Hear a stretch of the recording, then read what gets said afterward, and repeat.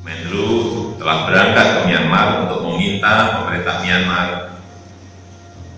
agar menghentikan dan mencegah kekerasan, agar memberikan perlindungan kepada semua warga, termasuk Muslim di Myanmar. Untuk penanganan kemanusiaan akibat konflik tersebut, pemerintah telah mengirim bantuan makanan dan obat-obatan.